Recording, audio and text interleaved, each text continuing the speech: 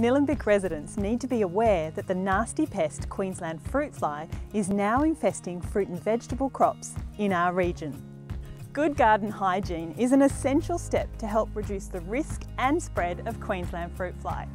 And you can use a baiting program and exclusion netting to help keep your crops safe.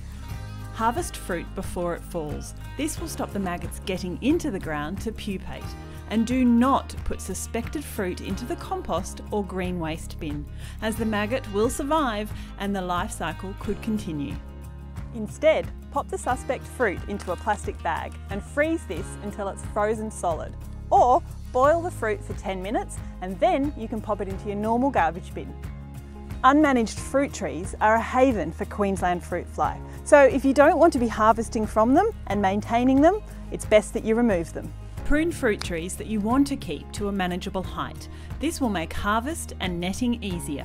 Exclusion netting like this works best if it doesn't touch the fruit. So here I've created a ring of star pickets around the tree and attached some flexible pipe to create a frame. The exclusion netting slides over right down to the ground, or it can be sealed at the trunk. Netting bags of all sizes are also an option. Remember, your net needs to go on after pollination and check it throughout the season for any rips. A baiting program is really important to reduce the numbers of fruit fly in your area. Bait is a mixture of insecticide with food that fruit flies find irresistible. Bait is usually applied as droplets onto the leaves and branches of plants in the garden, avoiding fruit.